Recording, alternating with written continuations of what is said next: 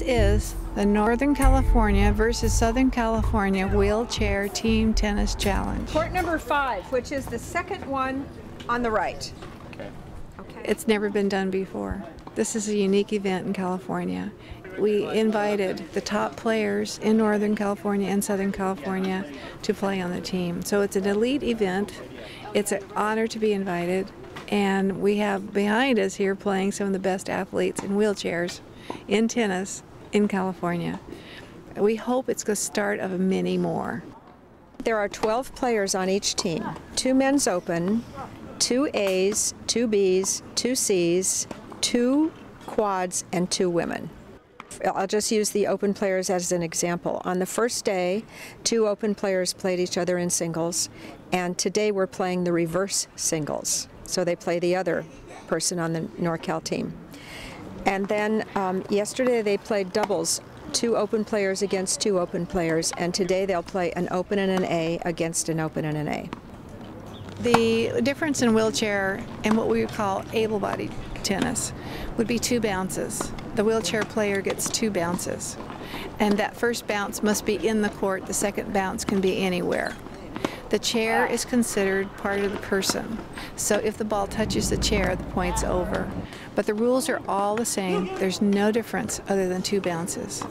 The competition will play out with individual matches. Each match scores a point for the team. 3-3. 3-3. Team with most matches will win. We have a beautiful perpetual trophy and it has space for both teams' names on it. So it's a team competition uh, played individually by individual matches. I haven't lost yet, so I'm doing well. I won both of my singles and I won my doubles. Um, so that's good. Our team, I think, is down. I didn't look at the scoreboard, but I last I heard we were down. We kind of got wiped out. Men's B's and C's got wiped out yesterday, which sucked. Yesterday it was tied most all day. We were only four points behind yesterday. Now we're looking at a deficit. Um, we're in a little bit of a hole, so we have to fight back today. It's still close. A lot can happen this afternoon because we're mixing up the doubles teams. An open player playing with an A player, a B player playing with a C player, and a quad player playing with a woman. So it, anything could happen this afternoon. It, the Southern California looks like they're in good shape right now. And the first day, then it's, it's And then it's I play number you would, two you would play on the both. next day? You would It's play so much fun to be part of a team. Somebody else cares if you win. When you're part of a team, every match is important, and so people are rooting for each other who might never root for each other under any other circumstances. And it, it's a lot of fun. And no matter what happens at a team event, all, all the outcomes are good. Let's go, NorCal, let's go. let's go, NorCal, let's go. Yeah. He lost the first set.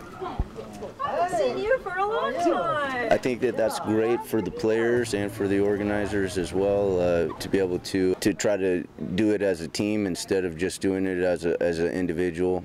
It helps uh, everybody get it done easier. You know, we're not out here on our own. We're we're kind of as a team. Oh, two. The thing that I love about wheelchair tennis is really cool that I notice is, is that the cultural divides kind of go away and like we're all part of the same crew. We're all just trying to get through the day together.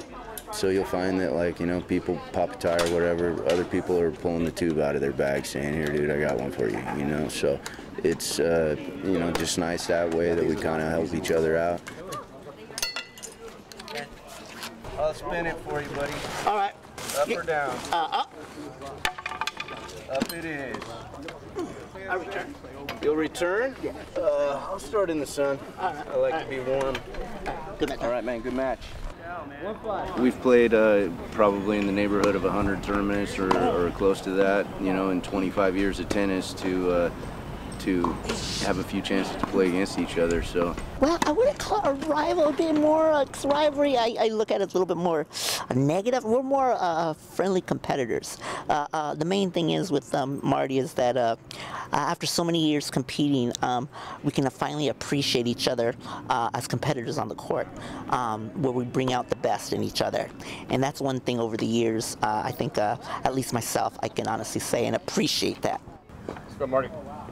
15 left. the singles match was the, uh, the opener for me here at the tournament, and uh, we went to a tiebreak in the first set, so you knew that it was going to be a close match. And uh, Good, Tony. I, uh, he got the better hand of me uh, in the tiebreak and blanked me 7-0, so it wasn't much of a fight.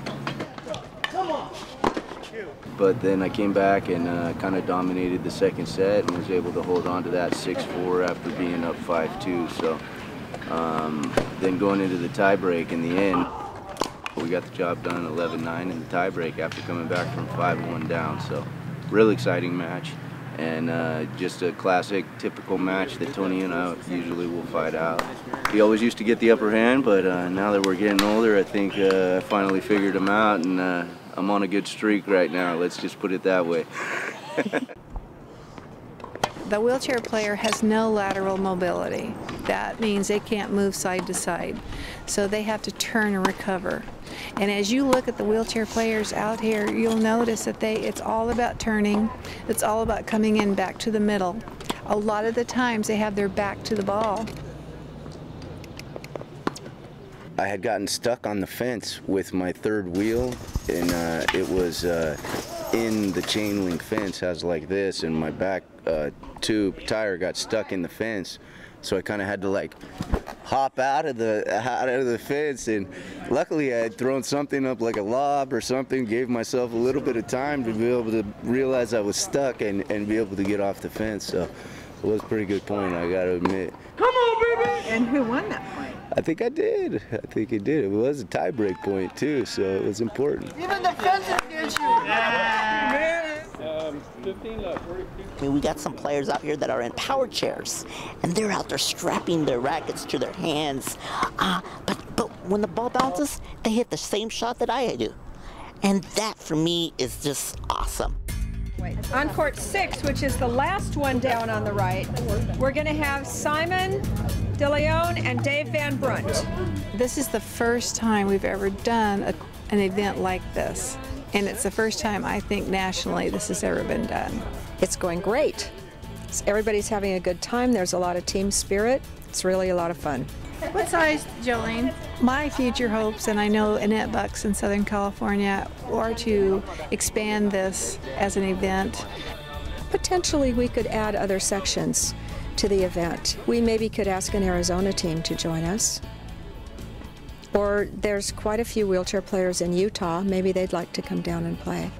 What I would really like to see is, is if we don't expand, just people being really excited about making the team. It becoming kind of a carrot to make it onto this team. I'm happy with how it's gone. It really came out the way I envis- envisioned it. I can see a few things we need to tweak, but that's okay. I'm a constant tweaker, so you can always do some things a little bit better. This was the kind of like our, our inaugural run, and I think it's gone very well. This is the first of, I hope, many annual competitions.